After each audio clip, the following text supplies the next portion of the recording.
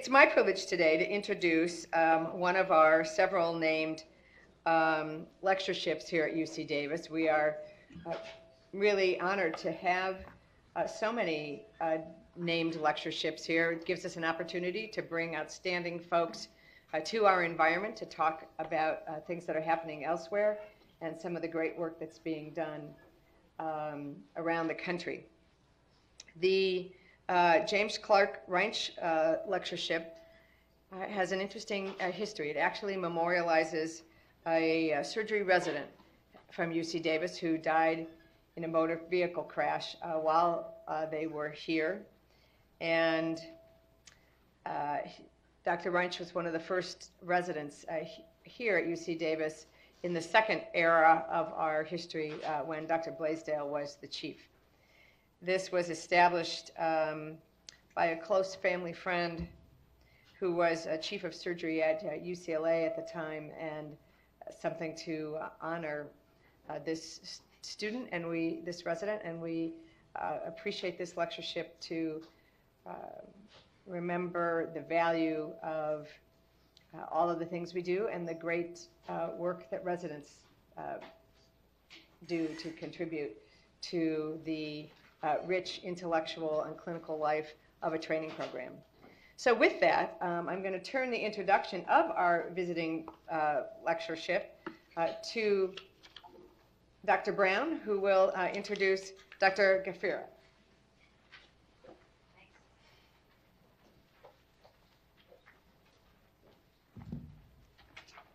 Okay, good morning. So it's my honor to introduce Dr. Ghaferi. He's an associate professor of surgery and business at the University of Michigan. He is a surgeon in chief. This is a new role for him at the University Hospital operating rooms and founding director of the bariatric surgery program at the Ann Arbor VA healthcare system.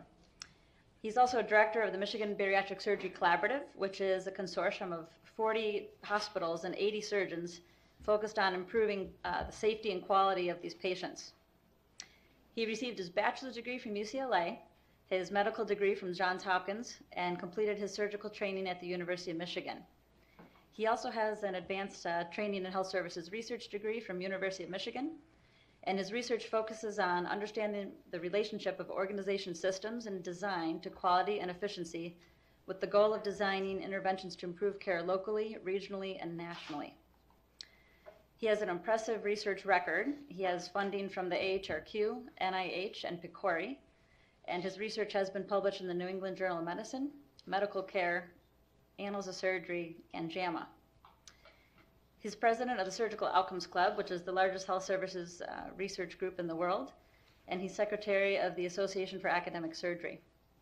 He has a strong interest in bringing young academic surgeons along and in the US and actually beyond. And since 2015, he has been the uh, co-convener of the Royal uh, Australian College of Surgeons uh, developing a career in academic surgery annual course. So, uh, on a personal note, I have had the opportunity to uh, learn from Dr. Ghaferi and be mentored by him as I received the Society of Thoracic Surgeons uh, Carolyn Reed Traveling Fellowship. And I took that opportunity to travel to Michigan last year two times, each for one week. And I was truly impressed by Dr. Ghaferi and his team and the work that they do and the Institute for Healthcare Policy and Innovation it's uh, really, really impressive the work that they do there. So without further ado, uh, I'd like to present Dr. Ghaferi and the road to the ideal rescue system.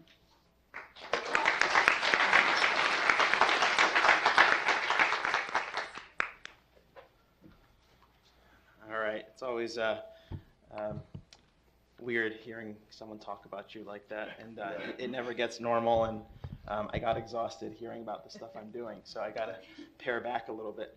Um, so, so uh, today, uh, you know, I really want to encourage uh, some thought. Um, so I'm going to talk to you a little bit, uh, especially I see a lot of trainees in the audience. Uh, I'm going to basically tell you the, the journey I've been on since I was a research fellow. Uh, when I basically found this idea of failure to rescue that had been in the literature, and I don't know if, if Dr. Romano is in the room. Uh, uh, do I see him? No. So, uh, so Dr. Romano uh, was one of uh, uh, the pioneers of this, along with Dr. Silber. So, we'll jump right in, and please, I hope I leave some time for some questions and some stimulating discussion. So, let's see. That's not working. All right. Nothing's working. There we go. All right. So, here are my disclosures.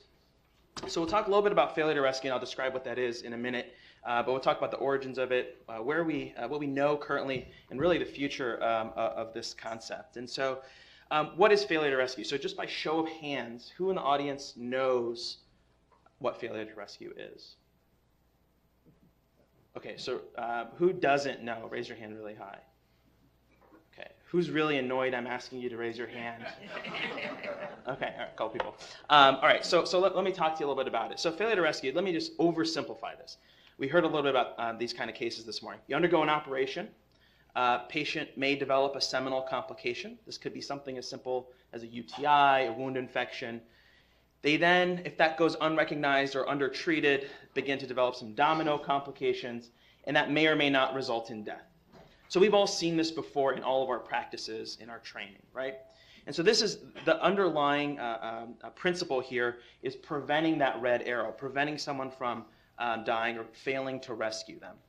And so this is the man, the myth, the legend, uh, who I can call a friend now, uh, Jeffrey Silber, who's at Penn, and he's a pediatric anesthesiologist. Um, and so uh, the story of FTR, as told to me by him, um, comes from um, his taking care of patients who uh, were undergoing chemotherapy. So these children would um, be undergoing chemotherapy, have their immune systems wiped clean, and some would develop complications and succumb to those. Um, whereas others would develop complications and they would be able to rescue these children um, and get them through that un- until they completed their chemotherapy treatment. And he thought, you know, what other uh, area of medicine do we do the same thing where we have a large physiologic insult on a patient where they may or may not develop complications and we have to rescue them? Well, he thought surgery. And this original paper was actually written about open cholecystectomy, which we know is, is not as big a insult uh, as many of the operations we do. But what he found was that hospital quality was much better, was, was much more easily and more accurately measured when we look at this concept of rescue. And I'll, and I'll hope I'll, I'll convey to you why, uh, why he found that, why he thought that. So we'll do a little math. It's little, it's kind of early in the morning, but this will give you a sense of why FTR um, has really kind of gained traction. So these are two hospitals, and let's say we're going to profile them for quality. We're all used to that now, being profiled for quality. So Hospital X does 100 operations, same exact patients. Hospital Y, 100 operations, same exact type of patients. One has a 30% complication rate, the other one has a 50% complication rate, but they both have a 5% mortality rate. So depending on the star system or the scoring grade or whatever you see, um, which hospital would be the higher quality hospital? It's not a trick question. It's hospital X, right? You got a lower complication rate, same mortality rate. Well, if you start to look at rescue, it kind of flips it on its head. So now when you think about failure to rescue, which is essentially the case fatality rate of patients with complications, hospital X, if you develop a complication in that hospital, you have a 17% chance of dying. If you develop a complication in hospital Y, you have only a 10% chance of dying. So that gets you to start thinking about other ways we can measure quality at the hospital level. Does this make sense? Some, some nodding? Okay, good. So we come back to this very simple conceptual model, and let's start building on it. Okay? So traditionally, what we've done, especially in the uh, early 2000s, was focusing on minimizing complications. We hear about that repeatedly. Let's make sure we give the antibiotics on time. We give the appropriate DVT prophylaxis. And all of these measures are very important. But we all know that even when we do those things, that there are many complications that are out of our control. So what rescue does, failure to rescue does, it, it asks you to begin to look at the tail end of this spectrum, where high mortality hospitals are just not as effective at rescuing patients once a complication occurs, despite our best efforts to, um, to prevent the complication. So it's a very simple com- uh, concept, and so what we did was we took a very simple concept and uh, found a very good data set. At the time, in 2009, uh, the NSQIP had accumulated about 110, 120 hospitals, mostly large academic medical centers, and had this really robust data set that was um, relatively new to, to researchers. And what we did was let's begin to look at clinical data and begin to understand whether failure to rescue really um, is, is as good a quality metric as Dr. Silber had said using administrative data. So what we did is we, you know, we stratified, you guys have probably seen these bar graphs um, out of almost everybody who comes from Michigan. Uh, this is kind of our, our, our, token here. We always like, we love bar graphs. It makes it simple. So, so what these bars represent are hospital quintiles of mortality. So the, the lowest on the far left, about 3.5% mortality rate with major surgery, and on the far right, about a 7% mortality rate. And what we did was we began to look at complication rates and rescue rates across these hospitals. This was a novel finding at the time that hospitals stratified by mortality had similar complication rates. So let that sink in for a minute. It was not about preventing complications um, in, in, in making your hospital a safer hospital or a low mortality hospital. What really was driving this phenomenon was the ability to rescue a patient once a complication occurred. And this, this really kind of uh, got a lot of people talking about rescue in 2009, uh, even though it had been described uh, almost two decades earlier by Dr. Silber. So, so where are we in the current state? Well, again, after, uh, around that time, it began. Uh, a lot of people began to pay attention to rescue, including the government. So Medicare uh, decided to begin publicly reporting. You guys can go on Hospital Compare and look at where you stand compared to your peers nationally with respect to failure to rescue. Uh, the National Quality Forum uh, uh, endorsed it as a measure. They actually just recently withdrew endorsement, mainly because of the way we measure it using administrative data, but they uh, acknowledge its importance uh, in the clinical realm. In our state, we have many quality collaboratives. It is now part of the reporting engine to all our hospitals in the state of Michigan. You're able to see your failure to rescue rate and where you stand amongst all your peers. Um, this is Michigan, uh, University of Michigan's data. and You'll see we, we do pretty well. Um, but this gives you another way of looking at your data and, and a way to uh, try to target improvement. But that's what happens. People say, okay, so my rescue rate's really high. What do I do? Well, we, you know, and others have published lots of papers using secondary data to try to identify every association, try to find kind of that silver bullet for how we can improve rescue. And all of these are simple associations between uh, uh, multiple different variables. And so what, what was missing was how can we actually provide an answer to folks? And this is a friend of mine, uh, Dr. Lillian Kao. She's a trauma surgeon in Texas. Um, and so she wrote an invited commentary, but didn't warn me that she was writing this invited commentary, where she uh, basically calls me out and says, Listen, enough is enough. You've written so many papers around the associations between this and that, this and that, and around rescue. When are we going to be able to find the answer? And large data sets truly are not the answer to this problem. And I'm hoping to tell you exactly what we've been doing over the last seven or eight years to try to answer this, uh, this problem. So we come back to our simple conceptual model. And what we did was uh, we said, okay, um, these uh, kind of off the shelf uh, variables that we're looking at are not working. So where can we find a couple other um, uh, variables or what should we look at? So we expanded the simple conceptual model and we said, okay, uh, at the time, uh, concepts of high reliability, crew resource management, uh, you know, checklists, a lot of that was kind of uh, entering the, uh, the discussion. And we said, well, let's talk about hospital resources and attitudes uh, that really drive the adoption of those, those factors. So what we did is we surveyed hospitals um, in Michigan and decided to see what pieces of their hospital really are explaining failure to rescue. And I want to draw your attention to ICU staffing. Now, we, I'm sure, actually, is your ICU staffed by intensivists here? Yeah. And uh, is it a closed ICU? Yeah.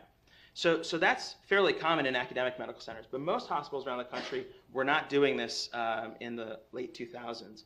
And what we found was really, if you staff your hospital with intensive, uh, with a closed model with uh, board certified intensivists, you actually um, were had much much better failure to rescue rates. So that's a simple fix, right? Hire some intensivists, close your ICU, and all will be good. But wait a second. So is that really all it is? And so what we did was we were able to show that it's not as simple as flipping a switch. And many of the people in this room who've um, undertaken quality improvement efforts or began to look at quality know that there's rarely a simple switch to flip.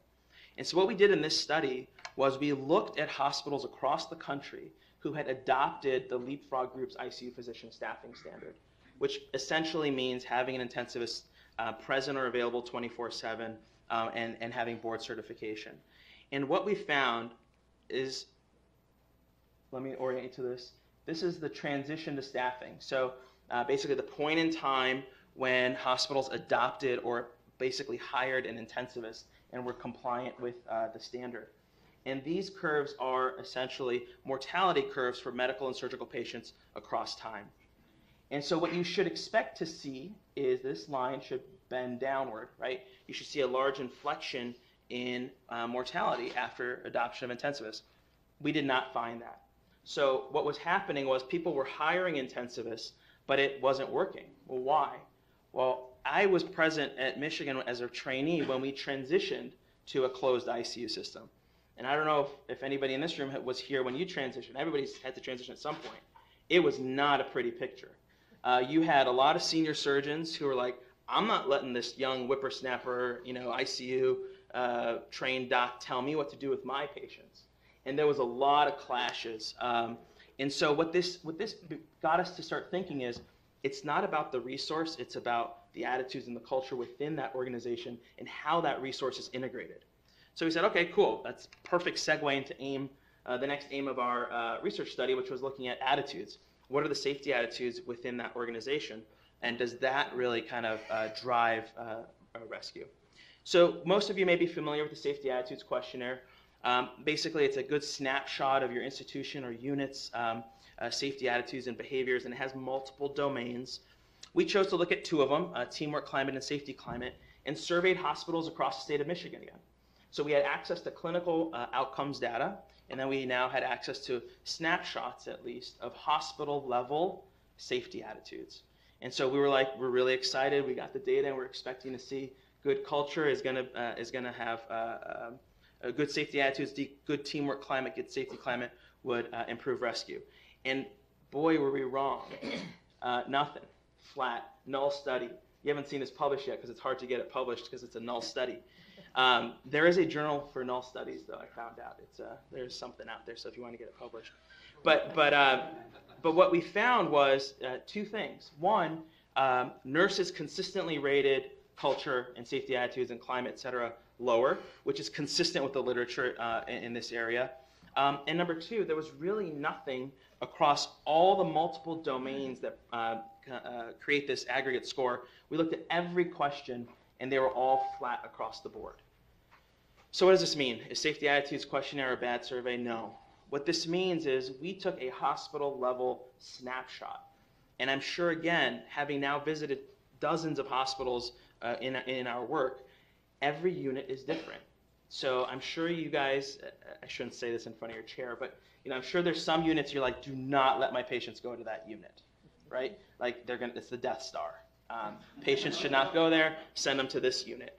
And and believe me, every hospital has that. There are some units where you just don't want your patients to go. It's not because the care is bad, but it's because they're not used to caring for your type of patient. And we see that. Hospitals are constantly at capacity and we're placing patients in random spots. And so what this told me was, at a hospital level snapshot, all that uh, signal just gets drowned out by the noise as we begin to um, aggregate these results.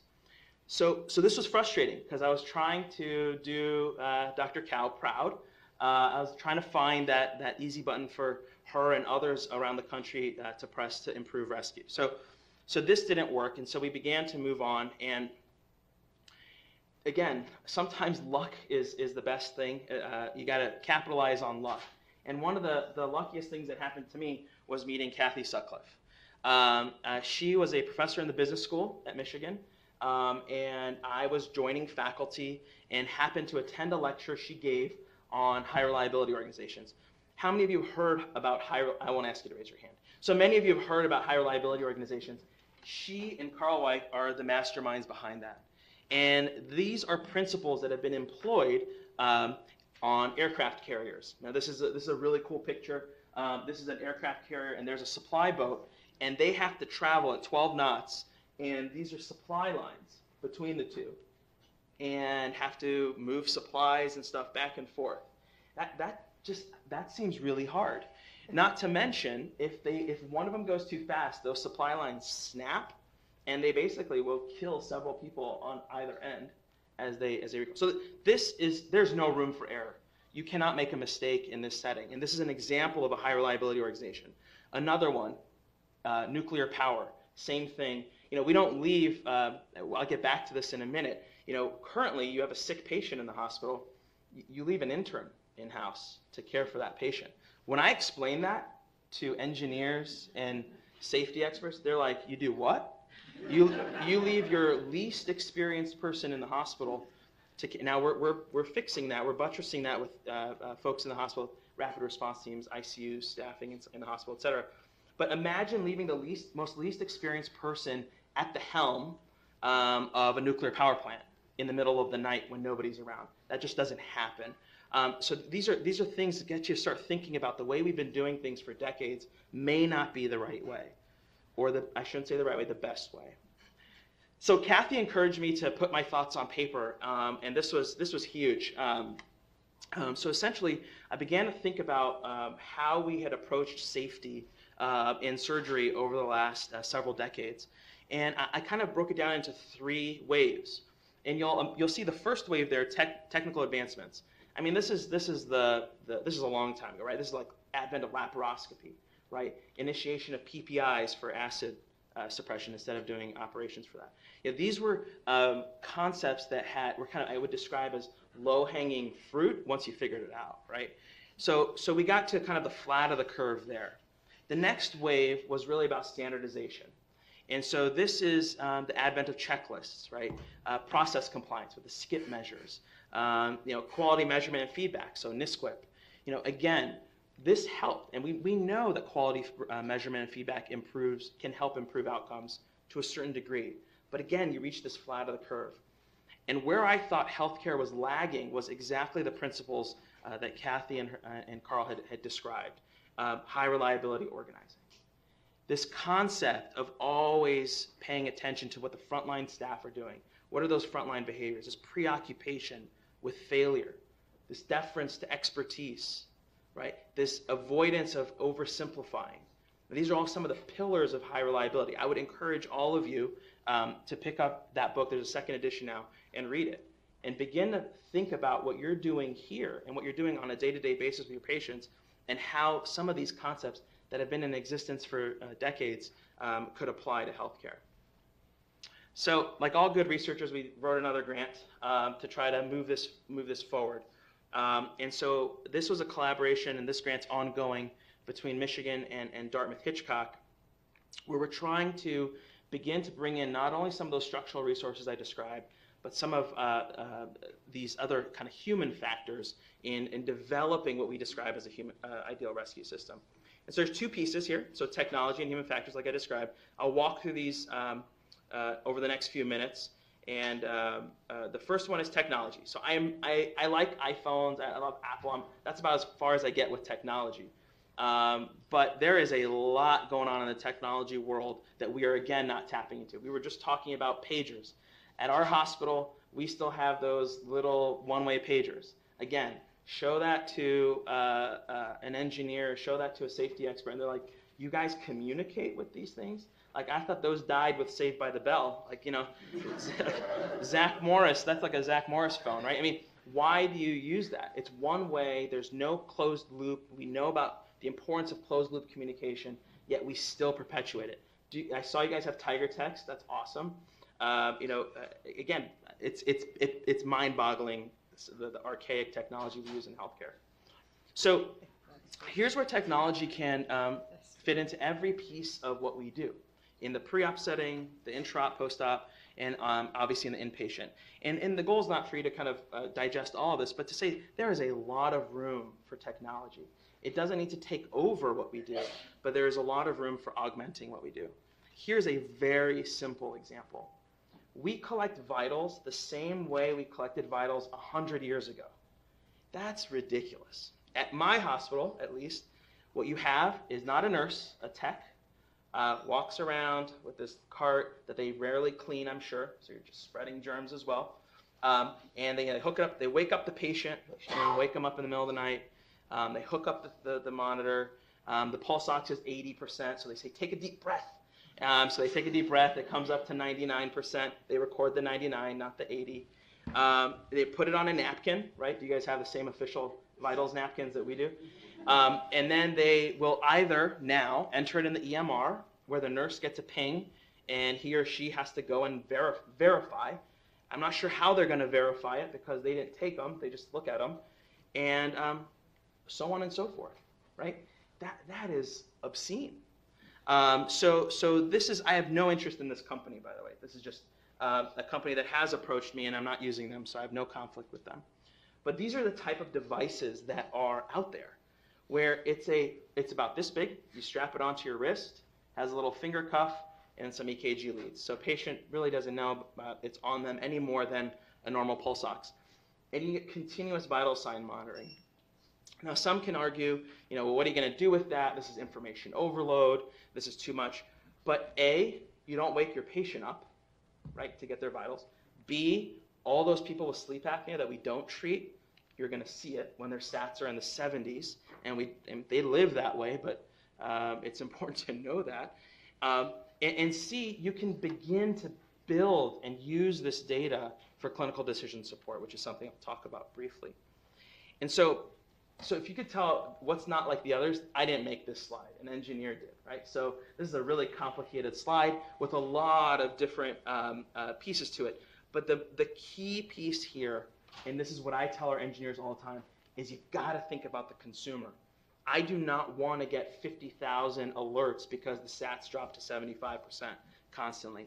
I want to know when do I when should I care and what should I do, and um, th- this that's really kind of uh, the crux of using this technology um, is is really this rescue activation. When can we really with high fidelity decide who um, who needs rescuing or who is beginning to deteriorate and head down that rescue uh, pathway, and so here's the hot button word. If you want to study anything, you should study this.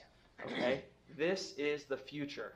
And I'm so bummed that I don't know anything about it. Um, so, so I am I am recruiting people who know about machine learning. We've got fortunately a lot of computational uh, uh, uh, medicine uh, professors and folks at, at Michigan who and bioinformaticians who are working on this.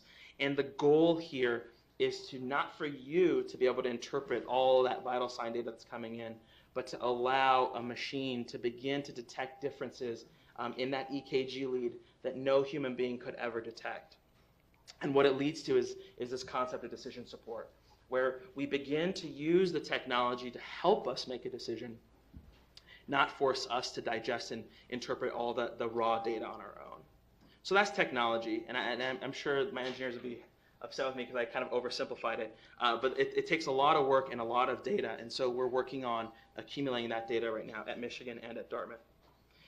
So the next piece uh, is human factors. So um, I'm sure you've heard this term. So I'd say again, two areas: machine learning and human factors. Uh, these are two kind of burgeoning areas in uh, in health services research and quality that I would encourage you to begin reading about and learning about.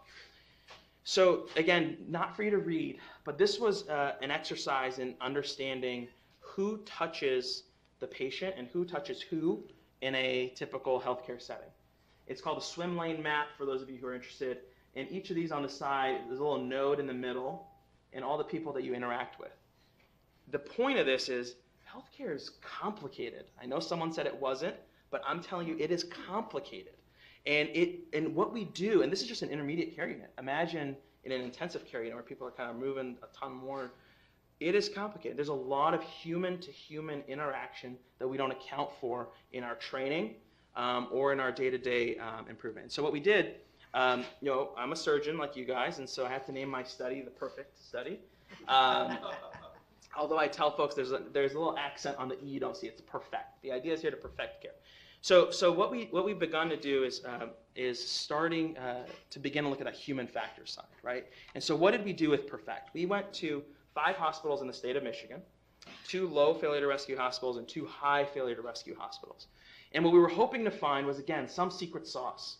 By talking to uh, to frontline providers, we talked to nurses, we talked to respiratory therapists, rapid response teams, attending surgeons, uh, hospitalists, etc. Um, trying to find what is the secret sauce um, in these low uh, failure to rescue hospitals, these high quality hospitals. We did about 50 interviews. Again, this is called qualitative research. For those of you who are interested, I would avoid it like the plague. I'm just kidding. It is just very time consuming. It is very rewarding and very enriching, but extremely time consuming. Um, the consensus coding took about six months, um, and, um, and we finally came out with this. So six months of work, and we get this. It's not even a bar graph. Like I wanted a bar graph, and nobody could give me a bar graph. So, what matters most? Here's what we found. Um, the stuff on, on, the, on the, your left, um, those are things that are done very well. So, there's good psychological safety, good teamwork, and good action taking across all hospitals, believe it or not. And what, what is done poorly is those are three uh, domains of communication and recognition are done poorly across all hospitals. So again, not much of a difference between good and bad, except actually for recognition. We did find that recognition was much better um, at high quality hospitals. And here's, um, here's some, some representative quotes from, from folks. So around action taking, right? So I think we do a pretty decent job once we identified that complication, meaning they've rallied the troops when they've identified the problem. And the key will be when, uh, coming up in the next slide. Psych safety. I think our culture has completely shifted. I mean, if, if you've got to have your head in the sand if you think the culture in medicine and surgery has not shifted already. Um, there is uh, there isn't that fear to call as much anymore, especially by frontline staff, right? There isn't that fear um, across these houses. I thought this would be huge. Like, listen, I don't want to wake up Dr. Farmer because when I wake her, I heard earlier about waking attendings up in the middle of the night. You know, um, I, I, know you're not like I, I, know you're very cordial in the middle of the night. Yes, um, but but you know, I think those days are over um, because chairs like Dr. Farmer would not tolerate that kind of behavior. It's just not tolerated anymore. Um, so you know, nobody's going to be critical. You're not going to get in trouble. I mean, uh, this this is this is um, interesting and new, and it feels like you're part of a team. There is not this hierarchical order, and these are principles that um, I think were pervasive across all these hospitals. So areas of strength. Oh, excuse me, is that seriously strength? It should be areas of weakness. So um, communication. So they kind of blow you off when I think no, there's really something going on. Uh, the more providers we have involved in one patient's care, the more room for some of the information being passed along or miscommunication, misinterpretation. This was an interesting finding. I thought it was going to be doctor nurse communication was poor. Oh no, it's doctor doctor communication is horrendous. And who are the patients that have 20 consulting physicians? These sick patients who you're gonna who you need to rescue. And what we found time and time again was the nurses feeling like they're the intermediary between all these consulting providers who just plop a note in the EMR but don't really communicate it to anybody, right? Death by EMR, right? So you put notes in there. Uh, we heard several physicians say, you know, I used to love rounding and writing on paper charts because you bump into another faculty member and you talk about stuff, or you bump into the team as you're writing the note on rounds. Now you just kind of zoom through and then you go sit in a cockpit somewhere and you enter everything, right? Um, so, so really that, that kind of uh, that community has been broken. Recognition, this was interesting. So trends weren't spotted soon enough. Identification could be better. And this was again what we found at the high or low failure rescue hospitals, the good, the good quality or high quality ones. There's good early recognition. They felt like, yeah, you know what? Like we jump on something early. If there's any sign of, of sepsis, we jump on it right away, and we're, we de-escalate if needed. But we're never afraid to escalate, and we heard that um, at, at, of the high quality hospital. So here's a quote from uh, uh, George Bernard Shaw. So the single biggest problem in communication is the illusion that it has taken place, right? We can all relate to this. And this is the, the text pager. Uh, I, I paged them. You know, they didn't call me back. It's, it's, well, maybe the page didn't go through. Maybe they saw it, but they got distracted. So uh, we really, sometimes we say things and we think other people are hearing us, but they're not. Another example of this is, um, you know, so how many of you get a call from a junior resident versus getting a call from a senior resident. And what's communicated is much more clear from the senior resident. It's not because, sorry guys, uh, but it, it's it's because they're effectively communicating, right? They're not feeling, they're not, you're not having to tease through lots of noise to get that nugget of information, and that takes time, that takes experience, and that takes um, um, some confidence.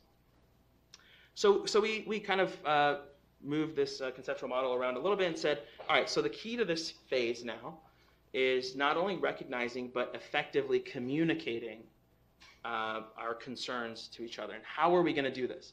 So this was really awesome. So uh, thank you so much. I was at dinner last night with uh, several of the faculty, and, and these concepts came up. And I did not add this after our conversation, but we were talking about the importance of competence and confidence in healthcare in surgery in particular, where we graduate from residency or fellowship and we're immediately, I would agree, competent. I think everybody's competent when they come out of training. Nobody, and if you say you are, you're lying. And you're dangerous if you say you are, that you're confident.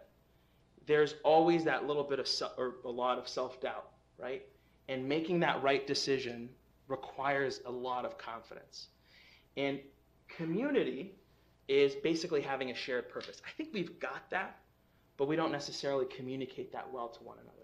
So I call these the three C's of communication. This really came out of a lot of that work visiting hospitals and talking to frontline providers.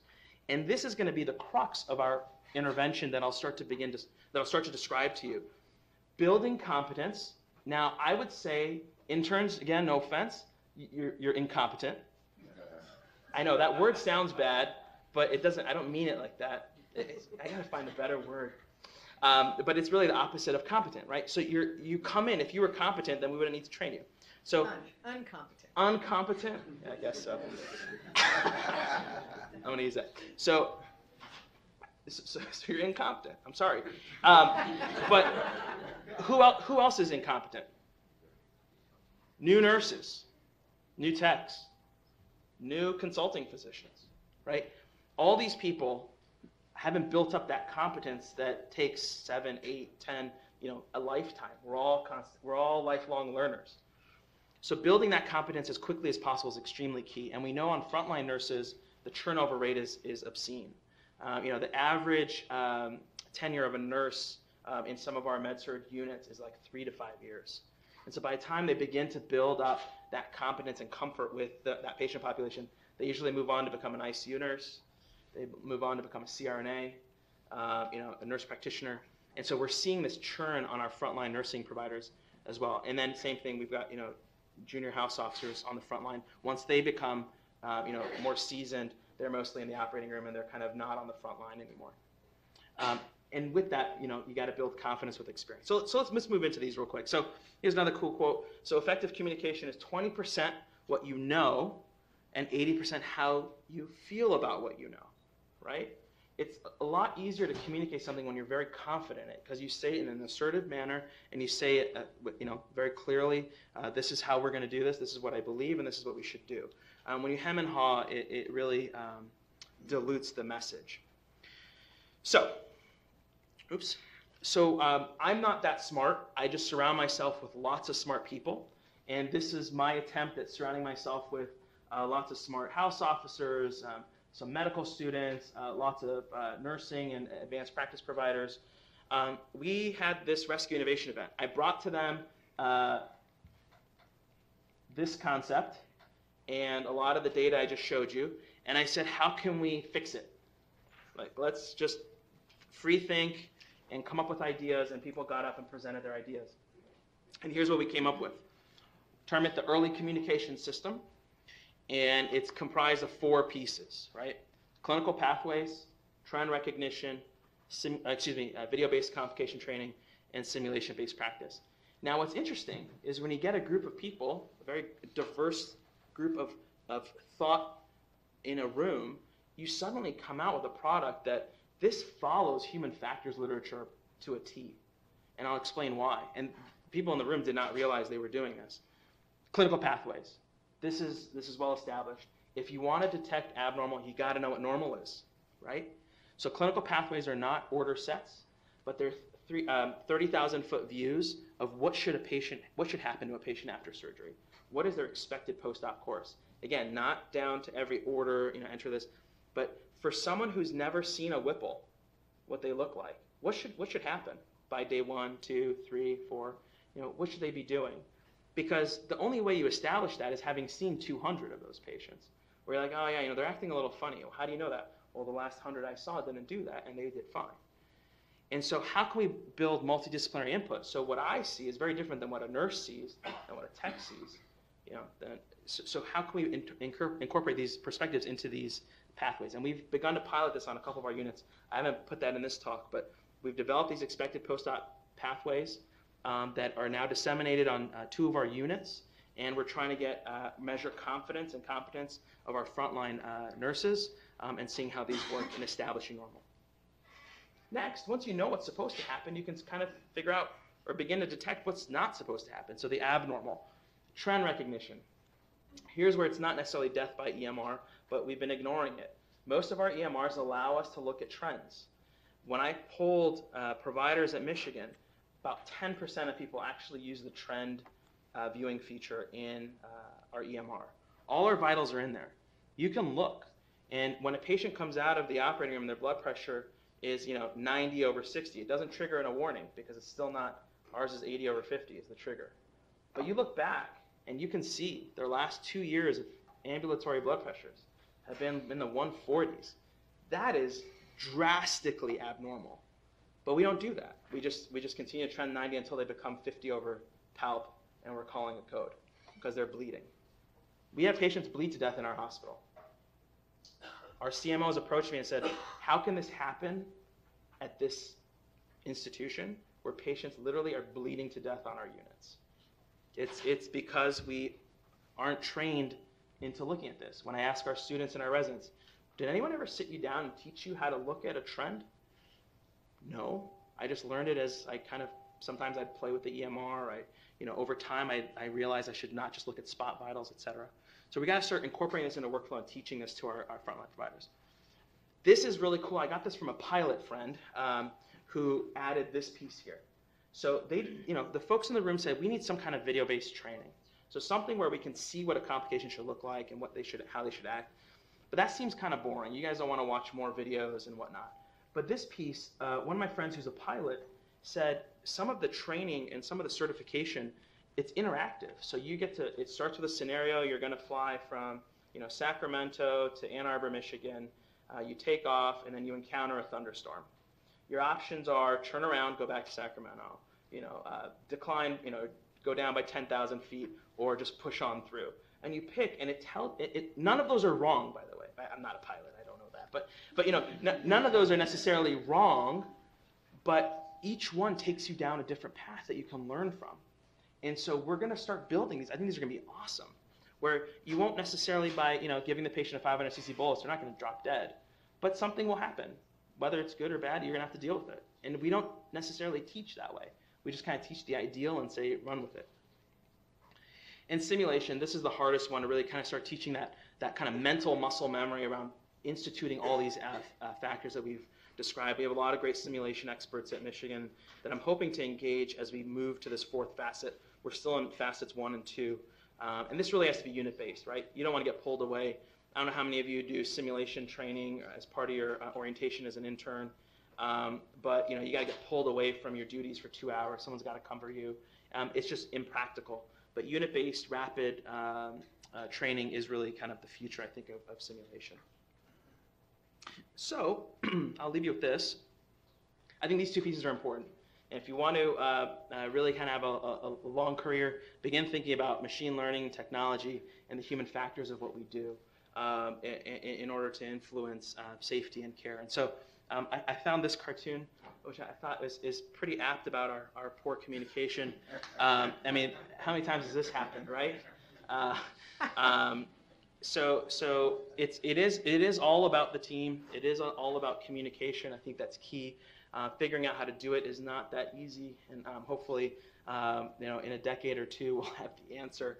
Um, but I want to acknowledge a few people. So uh, you know, so it's all about the team, the team, the team. Of, of those of you who know about Bo Schembechler, um, this is the motto at Michigan. Um, and truly, I would not. This is not a, a personal effort, but really a team effort across multiple institutions um, a lot of colleagues and friends um, around the country who've really helped me uh, shape these ideas and helped uh, move these concepts forward. Um, and then I, you have to thank your home team, right? So they're the ones that let me come here. So you should thank them uh, because I'm not there with them right now. So these are my uh, my brood. So this is my son Cameron, who's nine, Ryan, who's almost six, Sean, who's three, and finally baby Lila, who's 12 weeks old.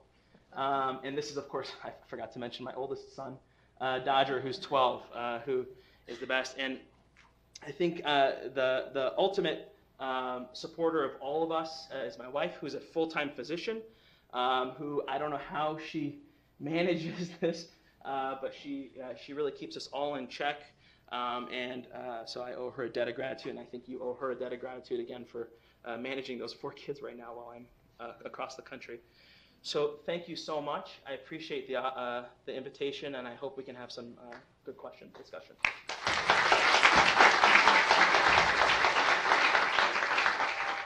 Oh my. So first of all, uh, we've thought a lot about swag over the years at UC Davis.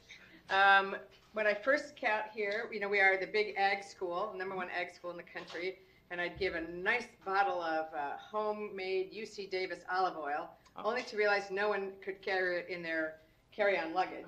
And so I get these nasty notes saying I had to check my luggage. so, so we're back to sort of the routine thing, but I just want we just want to say thank you so much for coming. It really has been spectacular having you here. Thank you. Um, the what I loved the most about the insightful things in your talk um, was the tremendous sense of fun that I get from what you're doing.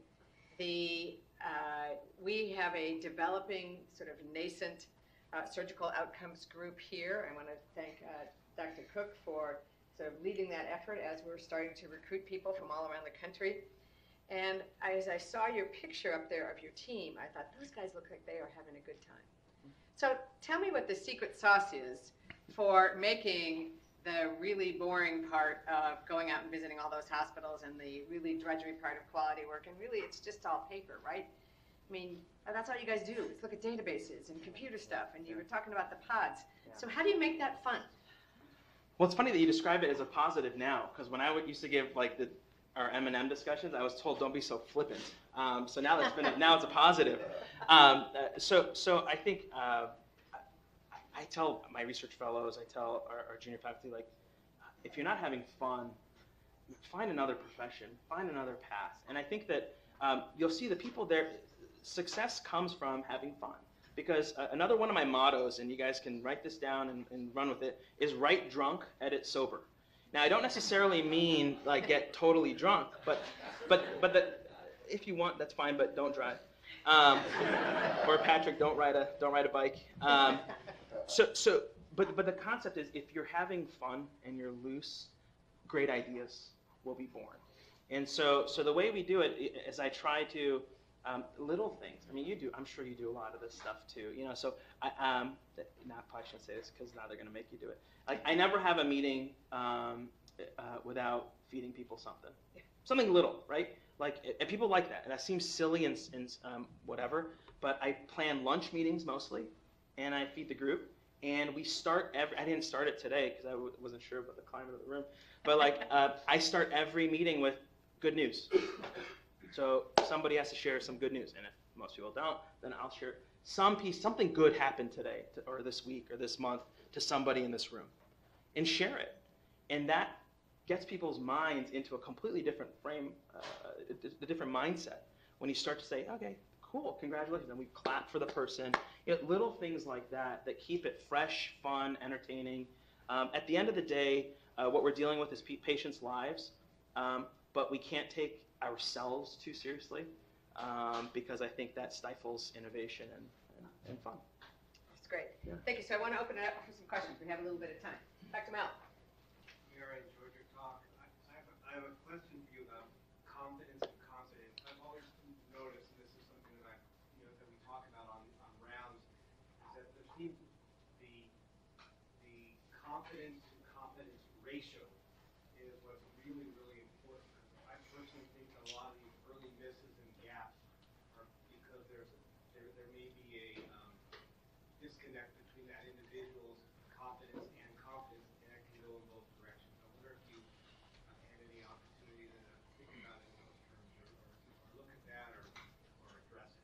Yeah, no, that's that's that's uh, an excellent question, and something that we're going to look at with as we're collecting this data now, um, as we've rolled out this expected post-op course uh, in, uh, intervention, is we're measuring people's competence by literally like little quizzes on the content, but we're also measuring the same individual's confidence.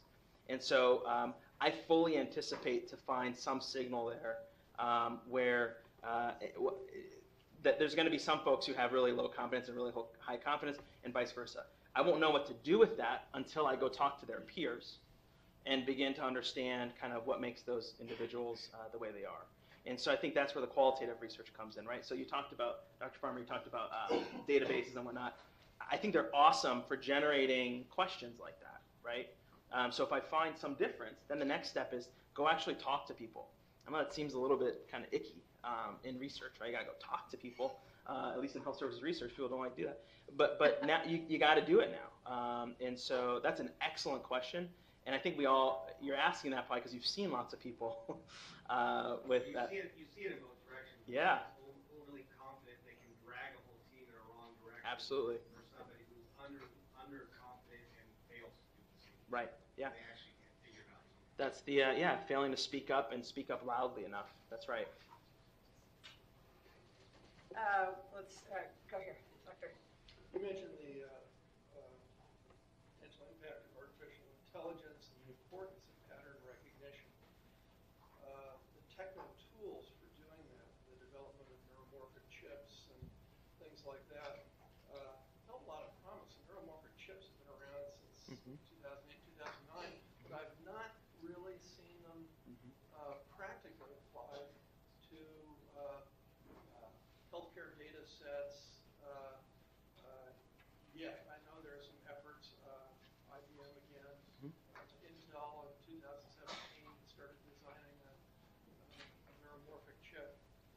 Uh, How far away are we before we have the computing horsepower to truly uh, match the human brain's enormous ability to recognize patterns? Yeah, that's a, that's an excellent question. I think I'll say the one unique piece that's been missing in a lot of those initiatives is access to patients. And so that is something that we have unique access to, right? So what we're what we're piloting right now, and it's just a feasibility of having these things on patients.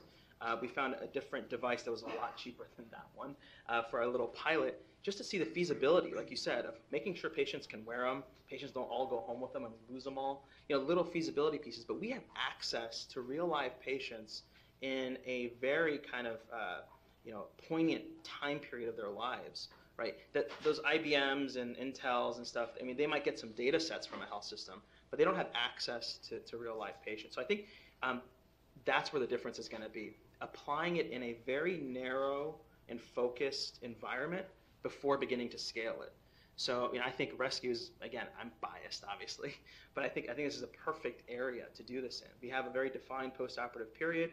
We have we know we have expected physiologic derangements. We're all accustomed to seeing those, but it's those kind of other blips that we just can't see or interpret. Who's your competition out there? Are there any hospitals uh, that are uh, uh, starting to uh, uh, reliably and prospectively collect patient-level Yeah. uh, data? with, uh, So there's no competition. So we're all in it together.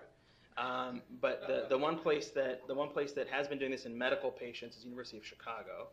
Um, has begun to uh, develop algorithms um, look trying to predict ICU admission. So, um, but but we're all in it together. All right, let's go to some of the residents. Go. Can I touch on the logistics of the technological pieces? So what are one of those costs? And what patients do you think are best? You know, all coordination, like what are you teaching? And then do you think it will be good to know, you know, those tiny blips when patients drop all the time, they're probably doing it at home anyway. We always talk about this is probably what they do at home and they don't know it. Mhm. Where do you think that balance? Excellent, insightful questions. So first one, cost. Uh, this stuff's expensive right now, right? But then again, Zach Morris's phone was like, I don't know how he afforded one, but those are super expensive, and now you can get an iPhone for like a couple hundred bucks. Well, maybe not an iPhone, but um, but uh, uh, a used one at least. So, so I think the technology is currently really expensive, and you, you got these kind of startup companies all trying to jockey for position. So, so that's that's that remains to be seen. Um, your second question was around kind of you know who's gonna where like logistics who's gonna put these on, where they go. So you know we're targeting right now three patient populations: uh, post cystectomy patients, so ur- urologic patients, high risk patients, um, tons of complications, high morbidity mortality, post Whipple patients, and post kidney transplant patients. So we're trying to pick you know kind of high risk groups right now to target. Um, but uh, I agree with you. I mean, you don't you know if you have inguinal hernia repair, you probably don't need to have one on. Uh, but I think I would argue most inpatients should have these devices on. They shouldn't be have to be on a telemetry unit for it. Um, and then as far as alarms and whatnot, I'm very sensitive to alarm fatigue.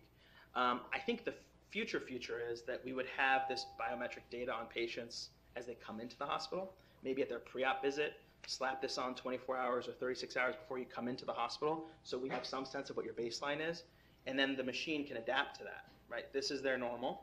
When they go outside that normal, we need to know about it. So those are just kind of my very superficial uh, ideas around that.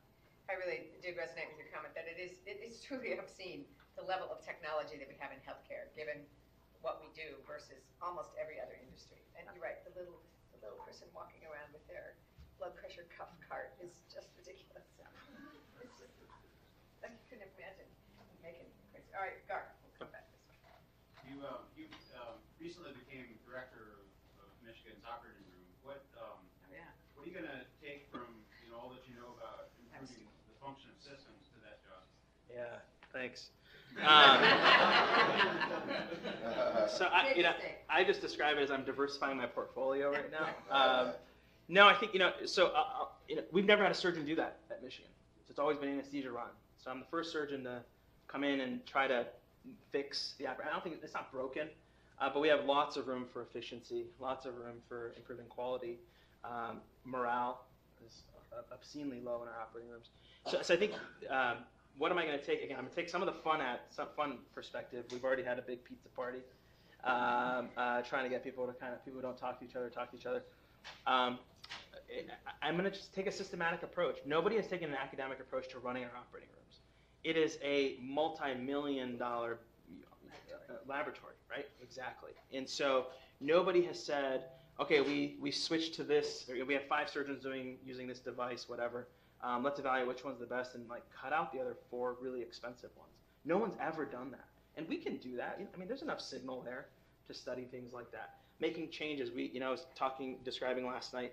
You know, uh, changes to how we purchase things. Right now, it's just this like, I just got emailed a list of 80 new devices that people want, and we have an, a team that I didn't even know about that does this value analysis, and they churn through it, but then they end up just buying them all anyway because the surgeon wants it right? I mean, that that's ridiculous. Um, you know, so coming up with if, with That's why we put our guy on the committee. There you go. There you go. That's right. Well, at least you guys have a physical committee. Ours, I found out, is a virtual committee. So it's like an who checks email, especially an email about this. You know, so and so wants this. Anybody object? Over email. Of course, no one even read it, and uh, we buy it, right? And so it, it, it's arcane. Um, but again, we've been doing well without this stuff. But I think just bringing kind of a, a fun academic approach um, to operations, I think, is going to be uh, is going to be a lot of fun.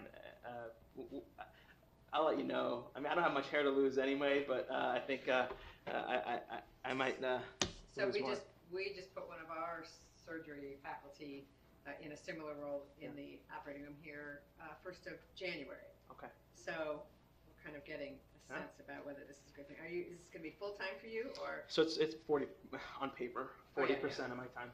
Yeah, forty percent. Fifty percent here, although we're Yeah. still negotiating with Martin. Mr. Gervais.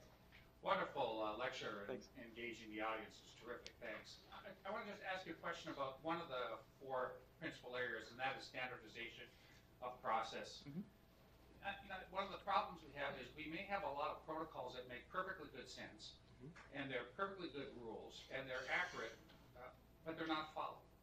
How, how do you assure, uh, in a changing environment of healthcare providers, whether it's residents or doctors or nurses, that are constantly rolling over, that an established way of doing something makes perfectly good sense and should be followed nearly all the time. When you have new trainees all the time, and a process book that gives you this thick, or it's all online, and like you said, nobody actually reads those things. How do Yeah. you ensure You didn't know that, the that protocol. Yeah. consistency? Well, I'll say, you know, um, I have a very easy answer and then a, uh, uh, kind of a complicated one. But the easy answer is we've begun to ha- uh, hire lots of APPs. So advanced practice providers for us, I don't know if you guys have them on your inpatient units or inpatient teams. They're, they're, they're the institutional memory, so to speak. And they keep those protocols alive and educate each batch of new residents that comes through. Um, but that's kind of, that's the simple answer. Complicated answer is building that institutional memory, right? It's got to become part of workflow and automated in a way where it doesn't become rote, like checklists. Not a fan of checklists. I think checklists are, are were great. It was like kind of some low hanging fruit to get the discussion started. But I mean, in the operating room, people are, it's just another thing to get done, um, and we gloss over some of the important details. Um, so, so I think that having some sort of institutional memory is the key piece, and that me- memory being on that team that's going to be instituting whatever protocol it is. Um, so for us, that's been APPs, and it's, it's worked very well. Worked very well. So that would imply, if I could just that would imply that in your new operating role, you're going to assign teams to every surgeon so that they have their Mhm. consistent scrub, Yep. their consistent circulator, that's going to be with them all Yeah. the time. So that's, the, that's Can the, we tell them that you did that at Michigan, so that we can Yeah. do that So, here? so that's the ideal world. But so, so begin with data, right? So people, is it a perceived problem or is it a real problem, right? I would argue in general surgery, I mean, some of the subspecialties do get consistent teams. I think that's just because you have a smaller cohort of folks that are trained to do those. But we, I, so it's, it's a timely question. I just got some data for a colorectal team, and we looked at, I think it was like three months of, of, of data, and it was like 36 rooms or something. There was 34 different circulators Right. for those 36 rooms in that time period. Um, so that's a real problem, right? Um, and so, so I don't know the answer how we're going to fix that. I think um, I have a, a nursing colleague who is in charge of kind of intraop nursing. Um, she and I, unfortunately, they're in the midst of nursing contract negotiations, so I can't really talk to her. We just sound right. Yeah. So, so we're, we're in the midst of sim- I mean, hopefully they have to have it by June 1st, which I don't think is going to happen. So hopefully there won't be a strike. But, um, but she's going to be key. You know, we got to figure out a way where, um, where we can have the same teams. And so when I operated at the VA, it was great. I had the same team every week because we only had nine operating rooms. Now we're managing 32 operating rooms and, you know, add-on cases, emergency cases, canceled cases, you know, all kinds of craziness. Um, the system quickly falls apart. I think about having a machine figured out. I'm sure Watson might have an answer for me, um, but I, but maybe not. And so, um, so uh, yeah, if I get the answer, I'll, I'm happy to share it and forward it on the algorithm. Well, thank you very much. Really appreciate the opportunity to have.